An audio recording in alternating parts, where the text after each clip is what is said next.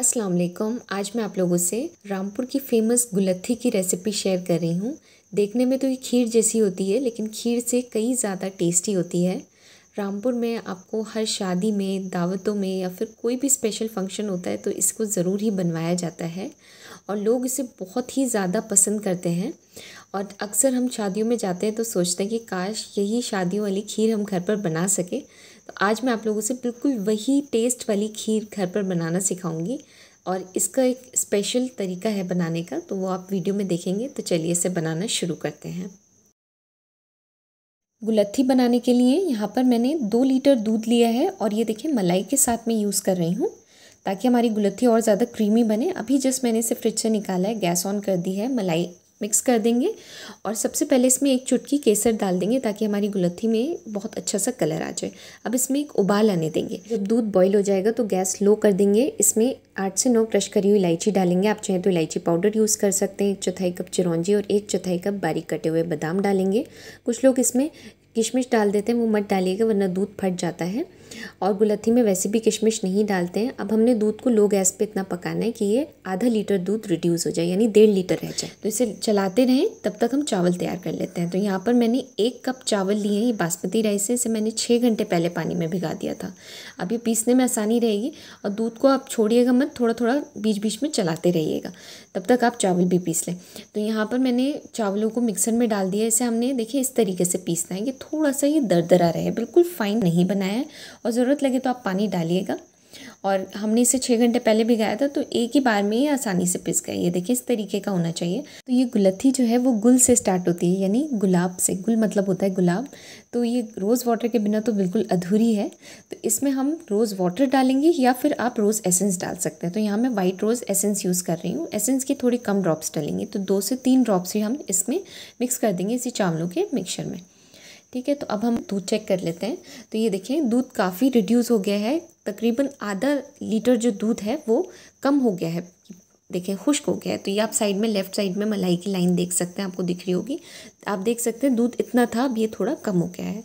तो अब इसमें हम चावलों का मिक्सर डाल देंगे जो हमने चावल पीसे थे और थोड़ा सा दूध जो है हम मिक्सर में डालकर सारे चावलों को अच्छे से इसमें डाल देंगे। और चावल डालने के बाद आपने लगातार इसे चलाते रहना है कि चावल नीचे लगे नहीं। और अब हमने चावलों को पकने देना है। तकरीबन पाँच मिनट के लिए हम गैस को मीडियम टू हाई रखेंगे मीडियम और हाई के बीच में रखेंगे और इसे लगातार चलाते हुए पकाएँगे जब तक चावल हमारे अच्छे से पक नहीं जाते। तो यहाँ पर पाँच मिनट हो गए हैं मुझे इसे पकाते हुए और ये देखें, चावल हमारे अच्छे से पक गए हैं और आप देख सकते हैं कि ये खीर जो हमारी गुलत्थी है वो गाढ़ी हो गई है। तो अब हम क्या करेंगे, गैस को वापस से लो कर देंगे। चलाते रहिएगा इसे थोड़ा कि नीचे जो है चावल लगने नहीं चाहिए। तो अब यहाँ पर हम मावा तैयार कर लेते हैं। यहाँ पर मैंने पाव भर मावा लिया है, यानी टू फिफ्टी ग्राम्स और देखिए बिल्कुल सॉफ्ट मावा मैं यूज़ कर रही हूँ, पहले इसे हाथ से तोड़ लेंगे। अच्छी क्वालिटी का आप मावा यूज़ करिएगा। अब इसमें हम दो कप चीनी डालेंगे। दानेदार चीनी में यूज़ कर रही हूँ। और इसी के साथ इसमें थ्री फोर्थ कप यानी तीन चौथाई कप नारियल का भूरा डालेंगे यानी डेसिकेटेड कोकोनट और अच्छे से इसे मिक्स कर लेंगे। अच्छे से आप इसे मिक्स कर लीजिएगा पहले कि हम जब इसे दूध में डालें तो उसमें गाठे ना बने, उसमें लम्स नहीं बने। अब हम इसे दूध में डाल देंगे। तो ये देखिए यहाँ पर गैस जो है बिल्कुल लो ही रख रखी है मैंने।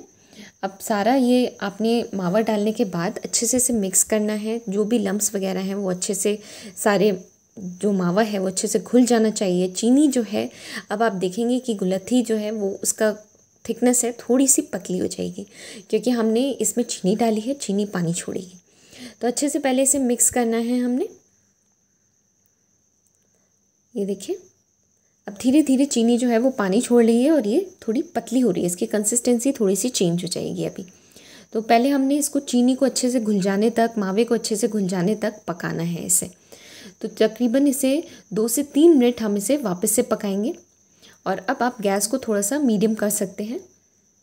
और ये देखें सारी चीनी अच्छे से घुल गई है और मावा भी अच्छे से इसमें मिक्स हो गया और इसमें कोई भी लम्स वगैरह नहीं है। अब मैंने यहाँ पर गुलत्थी को साइड रख दिया है और गैस को ऑफ़ कर दिया है। अब यहाँ पर मैंने एक पैन लिया है, इसमें डाला है देसी घी टू थर्ड कप यानी दो तिहाई कप अब इसमें हम डालेंगे आधा कप काजू और इसे ब्राउन कर लेंगे। ये देखिए, इस तरीके का अच्छा सा गोल्डन कलर आ जाना चाहिए। तो बिल्कुल आपने डार्क नहीं करना, अच्छे से लाइट ब्राउन कलर आ जाए तो आप काजुओं को निकाल लें। अब यहाँ पर पंद्रह मैंने बादाम लिए हैं, साबुत ही डाला है और इसे भी हम फ्राई कर लेंगे। तो बादाम भी हमारे फ्राई हो गए हैं इस घी को हम आगे यूज़ करेंगे पूरा। तो यहाँ पर देसी घी का ही यूज़ करिएगा, तभी गुलत्थी में अच्छा टेस्ट आएगा। तो सबसे पहले हम इसमें काजू डाल देंगे। अब वापस से मैंने इसे चूल्हे पर रख दिया है और गैस ऑन कर दी है। पहले इसमें हमने काजू डाल दिए हैं, बादाम डाल दिए हैं और साथ में देसी घी भी। तो ये सारा डाल देंगे। देसी घी डालने के बाद आपने इसे बिल्कुल अच्छे से मिक्स करना है। घी दिखना नहीं चाहिए और इसमें एक उबाल आने तक आपने इसे पकाना है। बस इसमें एक उबाल आ जाएगी और आपकी गुलत्थी बिल्कुल रेडी हो जाएगी। आप इसकी कंसिस्टेंसी देख सकते हैं। लग रही है ना, बिल्कुल शादियों वाली खीर। पहले मैं इसमें एक उबाल आने देती हूँ और घी को अच्छे से पहले मिक्स कर लेती हूँ, फिर आपको दिखाती हूँ। तो ये देखिए, इसमें एक उबाल आ गया है और हमारी गुलत्थी बिल्कुल रेडी है। अब मैं आपको इसकी कंसिस्टेंसी दिखा देती हूँ और गैस को ऑफ़ कर देती हूँ। ये देखिए, कितनी थिक क्रीमी रिच हमारी गुलत्थी बनी है। तो ये रामपुर की शादियों वाली वही गुलत्थी है जो आप शादियों में जाकर खाते हैं। बहुत ही मज़े की होती है, इसे आप ज़रूर ट्राई करिएगा। किसी भी आप स्पेशल फ़ंक्शन पे बनाएँगे ना तो सब आपकी तारीफ़ करते थकेंगे नहीं तो इसे ज़रूर बनाइएगा। आप इसे गार्निश करिए बादाम, काजू या पिस्ते के साथ। इसे ठंडा कर कर फ्रिज में सर्व कीजिए, या फिर आप इसे गर्म भी सर्व कर सकते हैं। तो कैसी लगी आपको मेरी ये रामपुर की फ़ेमस गुलत्थी की रेसिपी इसे ज़रूर ट्राई करिएगा। तो यहाँ मैं आपको ठंडा कर कर दिखा रही हूँ। ये देखिए, इस तरीके की ये लगेगी, ये जम जाएगी और बहुत ही मज़े की होती है। ट्राई करिए, मिलते हैं अगली वीडियो में ऐसी मज़ेदार सी रेसिपी के साथ। Thank you for watching. Allah हाफिज़।